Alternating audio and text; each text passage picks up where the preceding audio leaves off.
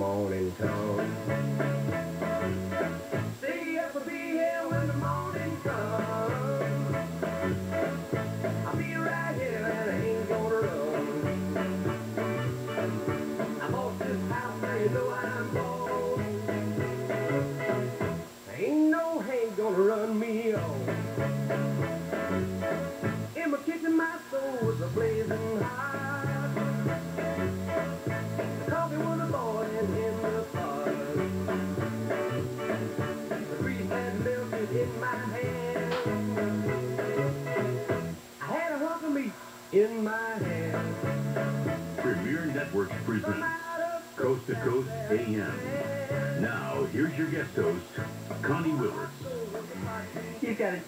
Coast to Coast AM. Connie Willis here. Happy Halloween. More to come with the EVPs and Paranormal Pete. But before that, just a reminder of uh, wanting to know what this bumper music is or any of the things that you hear throughout tonight, you can go to our website. It's going to tell you about that. You can specifically find that if you're going, hey, where do I listen when I go to another state? That's really easy, but I'll also let you go.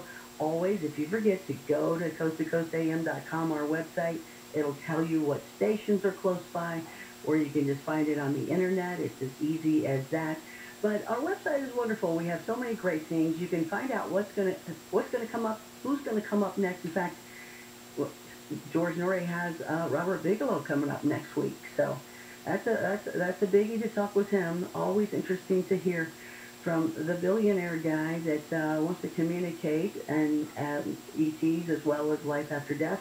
In fact, years ago, I spoke to him briefly on the phone about that particular thing right after my dad had passed and uh, told him a little bit about learning more of that, hearing my dad right after he passed and communicating with him. And he said something about, uh, Bigelow said something like, uh, uh, hang in there, you're on the right track, don't stop.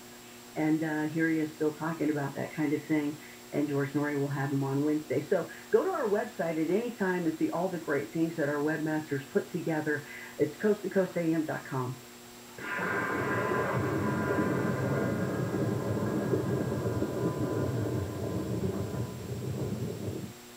We've got a great healing story. Carnivora in the house. One of those botanicals that is so absolutely so amazing. David, you're a guy that has overcome severe issue. I gotta go a Uh, way. the light the light bulb went on, and I started to research. I found out it saved Ronald Reagan's life. Yeah, it's a wonderful thing that is bringing me back, and it's been almost eight years now. How did you Yeah. take it? Did you take the liquid? Did you take the capsule? I was going through the capsules like uh, I couldn't get enough. It made me feel so much better. How soon after you began taking the capsules, you kind of felt this was going to be a good thing? Six months, eight months. I can only tell you one thing: the product works. And it not only works in one way, it works in a whole bunch of different ways because it gives me energy, Mhm. it gives me vitality, it's giving me my health. Did you have tests to validate it? And if so, did you then Oh, have yeah. tests afterwards for the doctors gave No. you a clean bill? I am pretty, just a better way. Mhm. Kind of where has built everything back into my body. It's taken a while, but you know what? It's back Sure. there and I feel it. I can't say I'm not. George here. You heard it here first, folks. Many more to come. Call 1-866-836-8735. That's 1-866-836-8735. Or visit carnivora.com. That's C-A-R-N-I-V-O-R-A dot com. Call now.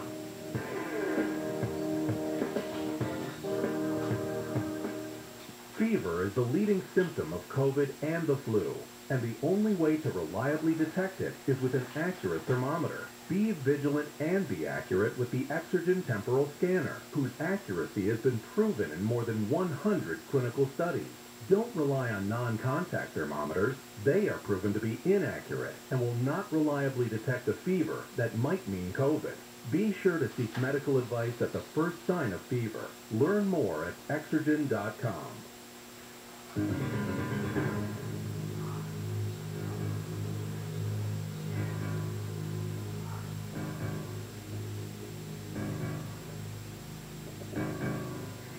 to Coast AM, Connie Willis here. Happy Halloween. Yep, yep, I guess it's over in some people's areas, but I don't know. I don't know. It still goes for as long as you, you know, don't go to sleep. As soon as you go to sleep and wake up, then it's over. That's how you look at it. So those of you awake, happy Halloween. Connie Willis here with Paranormal Pete's. Okay. So we have these EVPs, right? You get some spooky, disturbing ones. I'm, I'm telling you that. Time flies, so we only have so much time left with you. This is interesting, you guys, because this is what, you know, there's a whole lot of behind-the-scenes stuff from everything that you ever hear or see, uh, you know, in, in general anyway, but even here on Coast to Coast. And it's interesting enough. I'm, I'm telling on you, Pete. I'm telling on you. Not that I'm really telling on you, but it's, it's, it's kind of funny. Um, it's interesting, right? so, so you know, as as you coordinate the shows and you make things work, and you're with me, right, Pete? I hear you chuckling Yeah. over there a little bit. Okay, so so as as you put everything together and you coordinate, you know, everybody's in a different state, everybody's somewhere else, um, and and you got to you got to really communicate to make these things happen. So. So I get a text from Pete. hey, I should let you know, basically, that one of these clips, there's a ghost that yells and, and curses. and he, he hasn't quote the curse, and there's no beep on it, so we're going to skip that one. You gotta do, you gotta put a little beep on not it. get in trouble. Yeah, you gotta, you gotta, you gotta put a little censor like beep when you, when you send that out and say the beep was not included. I had to do that myself. But you actually did have a uh, spirit or somebody cuss at you guys.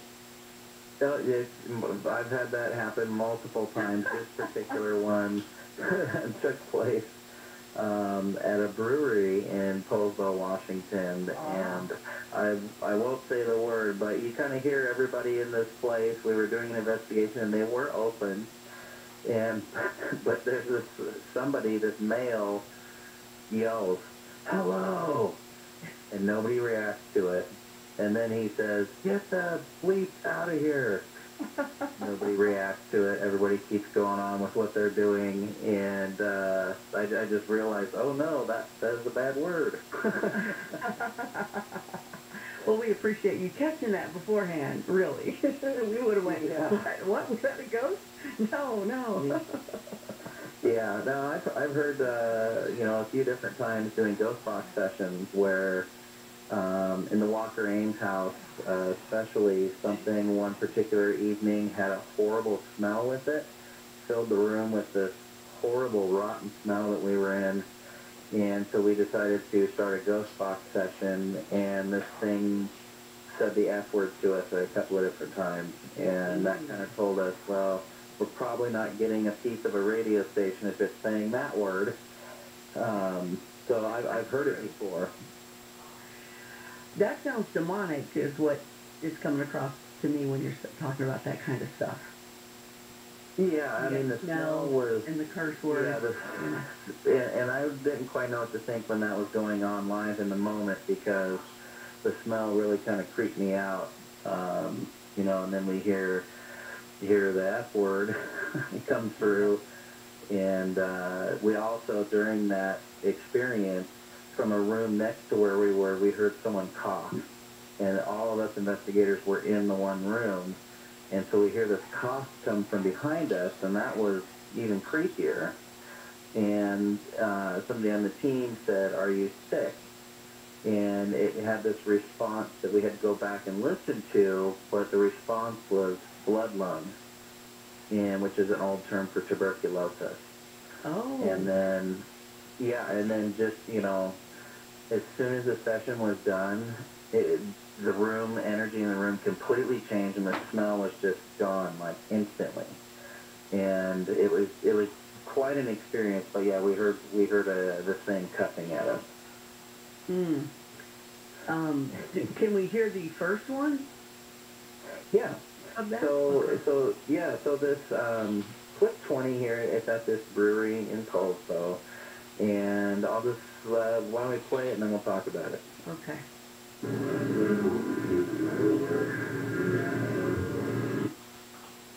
Ooh. So yeah, what's in there seems to be almost slow motion. You can kind of hear everything that's going on in the background, and there's this deep voice. I have no idea what it says. Can we hear it again?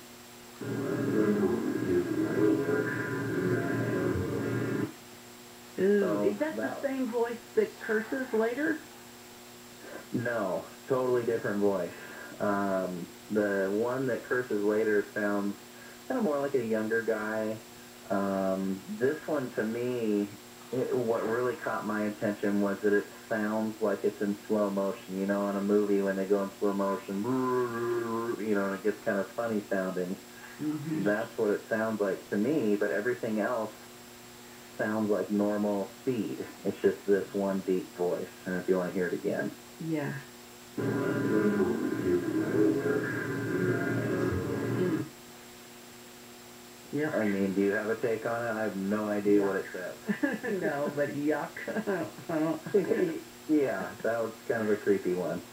So, Um, Pete, you need to know that I grew up in a haunted house and um, didn't sleep any ever in my life until I went off to college. And the the first night I woke up from the dorm, I went, man, I, I feel great. And I thought, why why is that? Oh, because I never slept when I lived in my home. I was always scared to death. Wow. so every that night of your that- life, you know. Yeah. That will tax you for, yeah, that Yeah. puts a big impact on just your health, just from lack of sleep. So that's, that's crazy. I'm glad you got away from it. I'm 21 years old, but I look a little older. I just blame it on that. That's what it's all about. So, okay, we'll we'll skip. Um, so sleep is important for sure. We'll skip uh, the the cussing, but thank you for the story. That's really funny. And and actually, before actually with uh, Anthony Sanchez, who was with us before, when we were shooting a film uh, with him, and we were in some of these locations, bar related, they there there was also a lot of cussing that we had picked up before. Yeah, eh, that's just interesting because if, if you look at it from a human standpoint, the spirits are still carrying on in some ways of things that they like to do, and oftentimes in a pub, yeah, you hear not so savory language. Yeah, relates and fit and it fits the location. Yeah, yeah. Yep, exactly. Well, uh, to go to another clip here, this is at a different place. This is at a theater, a historic theater, and it's not the Egyptian, but it's up here in Washington. And the clip 22, I just wanted to play this because to me it sounds like an apportion, like an object appeared and makes a noise, and it's pretty clear when you hear it.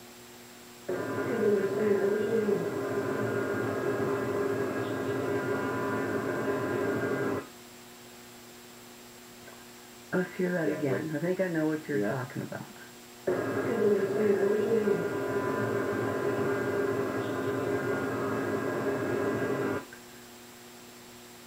So it sounds like something small clicking. It, is is that it? Like, uh, That's the but it also sound. sounds like a It sounds Yeah, like a bottle cap. yeah. Okay. What what about the tapping before? Was that her or was that sound like a pencil? That might have that might have been one of us walking because we didn't hear it when it happened, and I just thought it was interesting because it was three investigators and then the owner or the manager of the place that was there, and he was in a he was up in the where the concession stand was a ways away from where we were, and this seemed to happen in the theater and based on the sound, kind of right next to us. But uh, you know, nobody was sitting in a chair popping a soda. yeah, let's hear that again.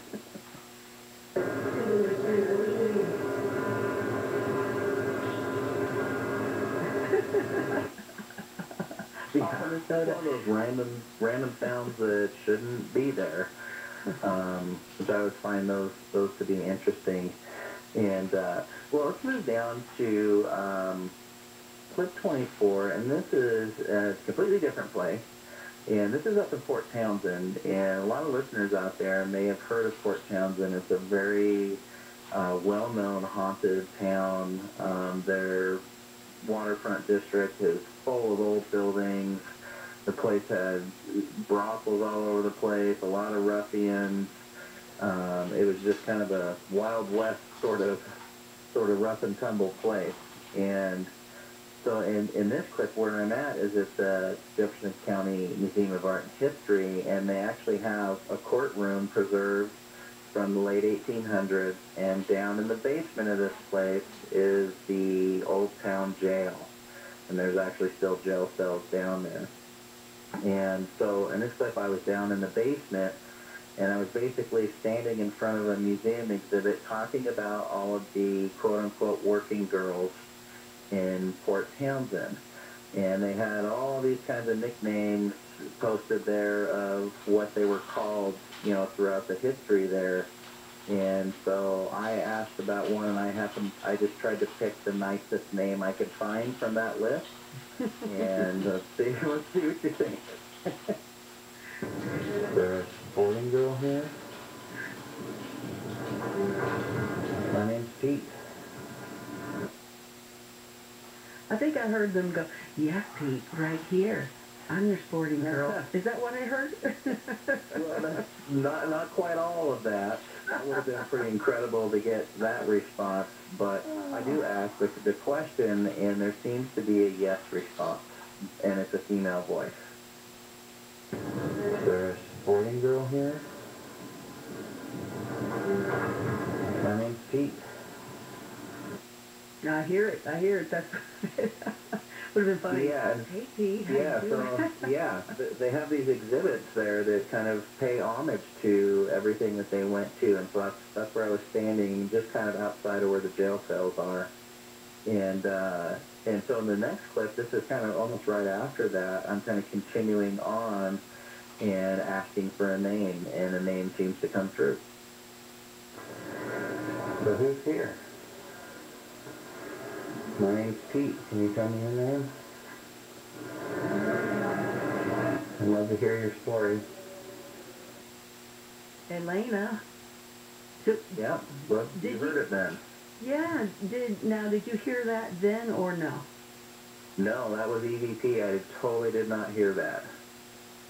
And are you the only one there? Is there someone else back there talking to, or is that a ghosty? There are there are other investigators in the building, uh, but nobody was in my immediate area. Oh wow. Uh, we just got a short time left. Can you can we get to that last one there? Yeah, this one's fun. This is in the preserved courtroom. I set my audio device down, and the whole team and everybody went outside for a while to take a break and to take some pictures. And you'll you'll hear a voice.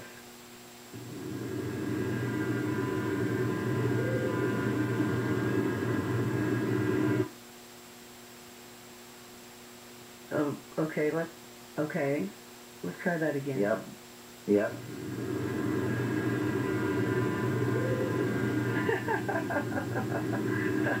Sounds almost like a little parrot. Hey, Pete.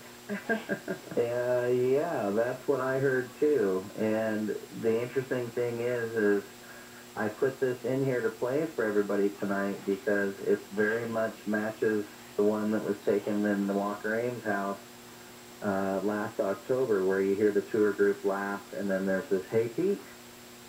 It's it's almost the same sort of thing. And so I when I listen, this is a recent investigation, and when I went through my audio, I was like, oh my gosh, is somebody following me? you they you know what you well you do mention I'm Pete I'm Pete I'm Pete a lot. mm-hmm. You know people are picking up on that. I guess I uh, you know what I like that though. That's That's kind of cool.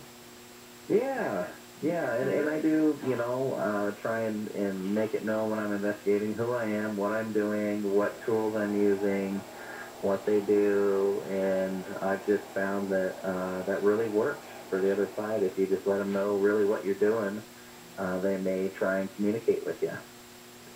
Well, I know you have a ton of stories to tell. I don't know if you can tell one in, in a minute. Are you able Yeah. to do that? One of your spookiest? Yeah, I can.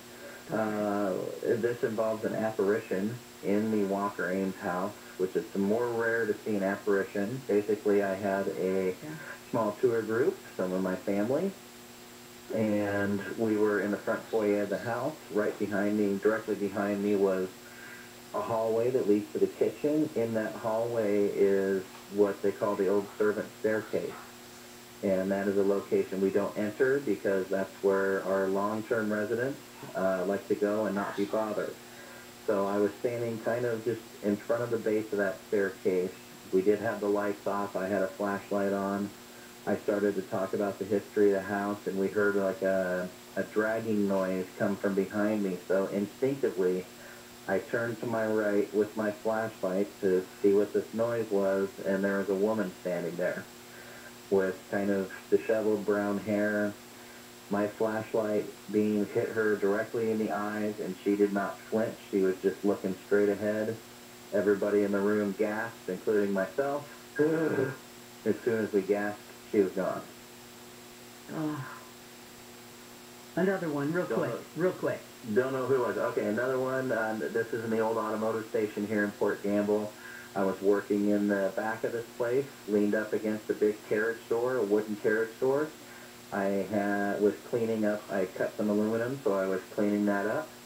I was using a metal file, a flat metal file. That really didn't work so well, so I walked about six, seven feet away, placed that file on a work table, went back to the pair of sawhorses where I was working, and then all of a sudden something brushed my leg, hit the wall behind me, and then hit the floor. I looked down on the floor. There's a file on the floor, no file on the table anymore, and a dent in the wall. And Oh. something flung this file across the room at me, or was just a warning shot because it just nicked my pant leg. Didn't know Oh what to think about that, but Yeah. it was cool. Uh, it, yeah, absolutely. PortGambleParanormal.com is where you can learn more about Paranormal Pete. Pete, thank you so much for all the EVPs and a couple quick stories. I knew you had a ton of those too, so at least we threw a couple out there for you. Wow, wow. Happy Halloween, everybody. Hope you're enjoying the EVPs, getting a little spooked a little bit, you know, for the remainder of your uh, Halloween. Now, coming up next hour, Donnie Most, you know him best, is Ralph Malph from Happy Days, but he does so much more. He's going to give us the theatrical readings of some haunted poems, and then somebody else is as well as a very special thing for us here. Happy Halloween on Coast to Coast AM. That's what I'm saying. He said dilettante. Uh, dilettante's a good word. Now spell it. I don't have to spell the fancy words I use. John and Ken, weekdays 2 to 6 on KFI. Why won't a plumber just tell me what it costs to unclog my drain over the phone? Is it that complicated? No, it's not. It makes no sense at all. They obviously have a price. Whoa, you've got a nice aroma. Who are you? Mike Diamond, the smell good plumber. Will you tell me how much to unspout my drain? $99. But you haven't seen it. Don't need to. Doesn't matter if it's a kitchen sink or a mainline sewer stoppage. The Smell Good Plumbers at Mike Diamond will unclog almost any drain for $99. Almost. Yeah, there are a few exceptions, but you can read all about them on our website before you call. Just go to thesmellgoodplumber.com. Wow, you're like up front and everything. I just called a guy named Bubba who wouldn't tell me anything. No Bubba's here, ma'am. Just professional plumbers who show up on time, smell good, and unclog drains for $99. Call us 1-800-446-MIKE. Contractor license number 399170. The Delta variant is making COVID-19 spread faster and more easily. Variants can be more contagious, aggressive, and deadly. But we know vaccines work. Vaccinated Californians have greater protection against serious illness, hospitalization, and death. We can help stop the spread and end this pandemic.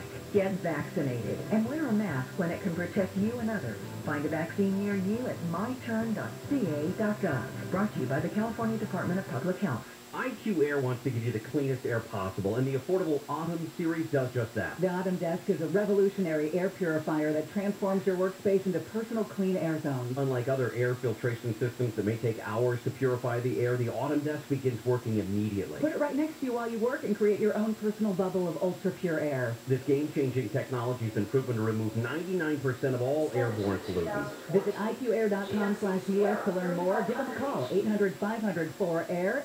800-500-4AIR, 800-500-4247. Ooh, what is that? Oh, the news is ready. KFI, KOST, HD2, Los Angeles, Orange County.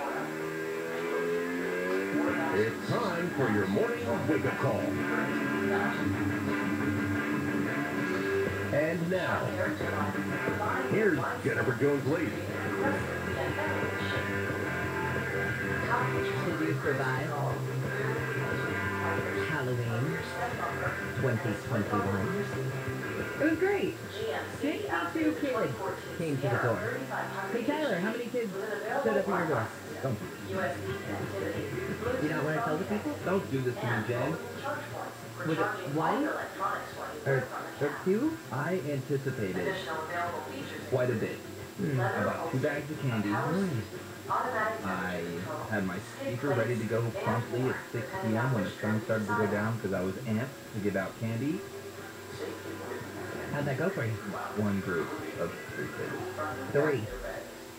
52 to 3. I mean, not that it's a competition. Somebody asked me, why in the world do you count how many people come to your door? Economics people. Not that I'm the crazy person who's trying to figure out how many likes or followers they get. Not that. It's that I need to know how many kids go out in my new neighborhood so that next year I don't overbuy candy like Tyler clearly did.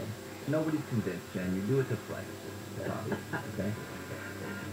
Here's what's just ahead on your wake-up call. Well, speaking of scores, the Astros won Game 5 of the World Series. That was kind of fun. Have the game on while you were giving out candy last night. A man's been arrested in connection with a hit and run in Long Beach where six people were injured. A new figures show COVID-19 has killed more than 5 million people around the world in less than two years. 505 will talk with ABC's Karen Travers. First, we'll talk with her about what the president thought about the G20 summit. Did he make progress with other leaders? And we'll follow up about what he hopes to accomplish in Scotland. Now we've got this other summit on climate change. So lots to squeeze in with Karen in just a few minutes. Let's start with some of the stories coming out of the KFI 24-hour newsroom. A man's been arrested in connection with a hit and run in Long Beach in which six people were hurt. A group of partygoers were standing outside a home about 2.45 yesterday morning. Car plowed into them. Long Beach police say the driver had an argument with a woman, then drove his car onto the sidewalk and hit several people before taking off. He was tracked down and arrested last night in Compton. LAPD officers have shot and killed a man they say had knives and was cutting car tires in Van Nuys. LAPD spokesman Bruce Borihanh says officers responded to a call on Victory Boulevard yesterday and asked the guy a number of times to drop the knives. The officers described those knives as bloody knives. The suspect failed to comply with the officer's orders to drop the knives, and at some point, the suspect advanced towards the officers, and an officer-involved shooting occurred. The man died at the scene. His knives were booked into evidence. New figures show COVID-19 has killed more than 5 million people around the world in less than two years. Together, the U.S., EU, Britain, and Brazil account for one-eighth of the world's population, but nearly half of all the reported deaths. The U.S. has reco- recorded the most deaths, with more than 740,000 people dying during the pandemic. Doctors in Arizona say COVID-19 vaccines are safe for kids. One of them, former U.S. Surgeon General Dr. Richard Carmona, said the risk from getting COVID-19 or getting vaccinated is small and minor compared to the potential magnitude of an illness that can kill people. The FDA approved Pfizer's kid-sized doses last Friday, and the CDC is expected to make its recommendations tomorrow on who should be vaccinated and with what doses. A fortune teller, a fortune teller in Riverside has been charged with duping a woman into giving him $50,000 to expel parasites from her body and rid her family of a curse. Police say he told the woman he needed the money to help her with the imaginary parasite. Police say other fortune teller customers said the man asked them to bring their bed mattresses, which he would then rip open and claim to find a live snake and other demonic things inside. The man was arrested last week. Someday you can't make that up fast. One of five frat brothers charged in the alcohol poisoning death of a student at UC Irvine is asking a judge for misdemeanor diversion. He's trying to escape responsibility. Orange County DA Todd Spitzer says Xavier Brown was the one who gave the alcohol to freshman Noah Domingo, who died in 2019 with a .33 blood alcohol level. He's trying to argue that we should say, oh, for me, focus on his life and how a misdemeanor conviction is going to ruin his life, and he expresses absolutely no remorse. Spitzer says diversion would mean no jail time and White Brown's record clean. Hazing was not a factor. Lawyers for Brown have not responded for comment. In Orange County, Corbin Carson, KFI News. When we come back, we'll talk with ABC's Karen Travers about the first part of the president's trip overseas and how he thought that went. That was the G20 summit and follow up with another climate summit, this one in Scotland. Right now, let's say good morning to... Hey, it's Robert Sebastian here. We had a crash in Downey on the westbound side of the 105 at Lakewood Boulevard. It's a motorcycle down in the left lane. That's got you back up starting at Bellflower Boulevard. Also a new crash on the southbound side of the 710. This is taking away two left lanes just past Imperial Highway, making northbound side. And that's got you back up right as you approach the scene there as well. We also have a crash in the downtown LA area, northbound side of 110 at 3rd Street. That's blocking the off-ramp, just a line of the ledger on the main line of the freeway, Bill. And some good news in the Burbank area, 134 westbound Pass Avenue. That crash cleared from. The driver covering well.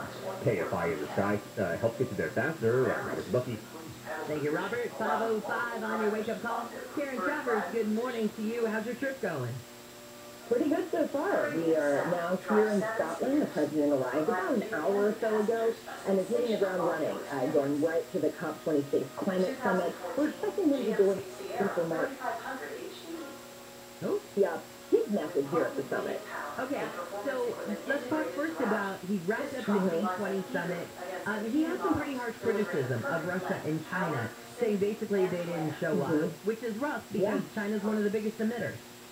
Yeah, and they didn't show up. You know, President Xi of China has not traveled anywhere outside the country since COVID started. So it wasn't surprising that he was not attending the summit in Rome and then coming to Glasgow for the climate summit. But the president was pretty strong and, and very blunt in his criticism yesterday, saying it was a disappointment that China and Russia were not part of the conversations over the weekend. The table-setting talks about climate change ahead of the big summit here in Scotland.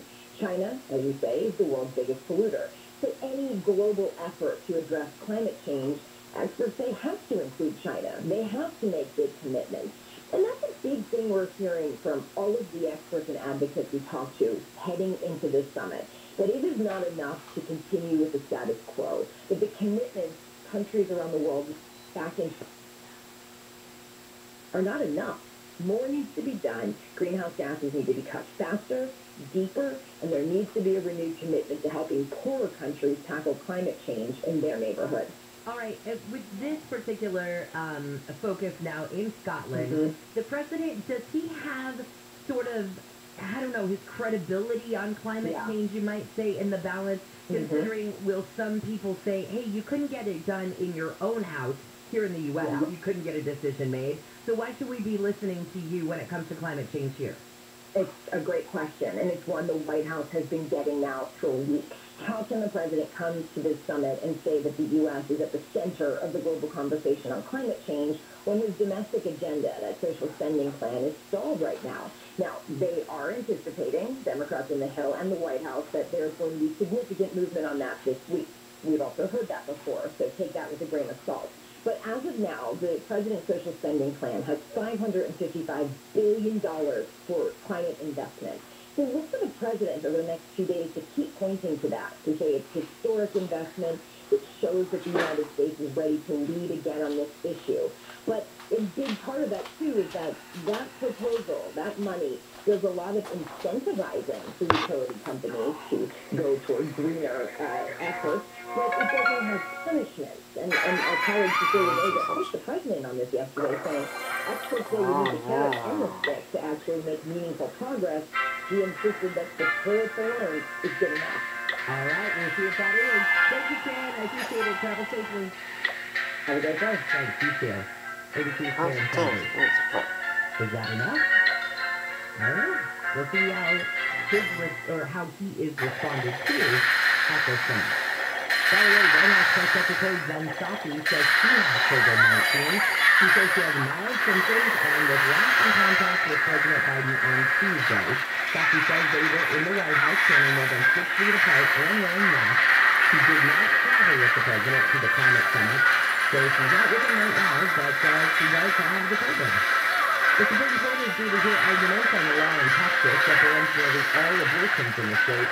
The law outlaws abortions after six weeks of pregnancy. The University of Texas law school professor Steve Vladeck says he thinks the law should be overturned. The Texas case is the direct assault. There's no universe in which Texas is six-week ban and going cases controls this. The High Court will start hearing arguments today. Well, have slowed, albeit on many homes across locale, prices are still sky high. According to a oh. recent report by CoreLogic, the median home price in the region reached a record high of more than $688,000 in September, up nearly 13% from September of last year. Home sales, on the other hand, were up only slightly from September of last year, seeing just a 0.6% raise. The reason homes are still spending comes down to inventory, as there is still a limited supply of homes across the Southland. Blake Trolley, KFI News. Okay, if you want to make yourself feel good today and you own a home, here's what I suggest you do. Remember how sometimes I'll say, if you have a 401k or you have some sort of investment portfolio, don't look at it today. Today, I want you to go to Zillow or whatever, Zillow, Redfin, Realtor, whatever, and look at the price of your house. And see what it was either when you bought it or what it was a year ago, whatever. The prices are silly right now. Silly. In one year, I've owned my home one year down here. Silly how much it has gone up. And while I love my house, it could not be worth this much. It's silly compared to this time last year.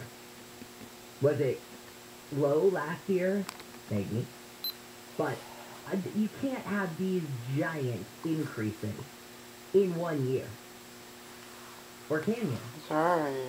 It's just, it's crazy. So I know maybe the bidding wars have slowed, but the prices are, s- like Blake was saying, the prices are just silly. But my point is, if you want to make yourself feel good, go to Zillow, look at your house price today. You'll be like, ah, you gotta be kidding me.